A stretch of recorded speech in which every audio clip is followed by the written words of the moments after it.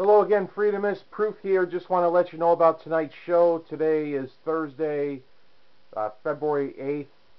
Anyway, our guest today, we're going to have uh, Larry Pratt from the Gun Owners of America. He will be on in my first hour.